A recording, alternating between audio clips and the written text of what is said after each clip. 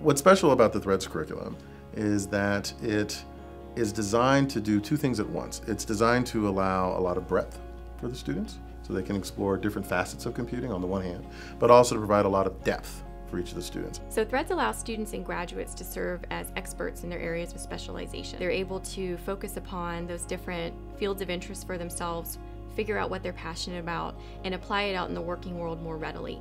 The thing about computer science is you're shooting at a moving target.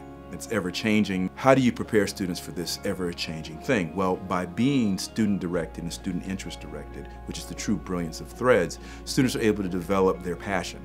And it's that passion that's going to carry them into the workplace and it's going to make them very marketable no matter where they wind up. By having the threads, by having a much more flexible and versatile approach, we can prepare them better. I believe the thread program is unique. It's trailblazing it's cutting edge. The goal of the Threads curriculum and the way it's sort of set up is to provide this flexibility on the one hand, while on the same time giving such rigor that no matter which of the Threads combinations that you take, whether you take people and media or whether you take information and intelligence, you come out at the end of the day as a full-fledged computationalist. With a degree in computer science, no matter what you do, you get four solid years of computer science from beginning to end. We strive to give them the best possible education and we believe that Threads is the way.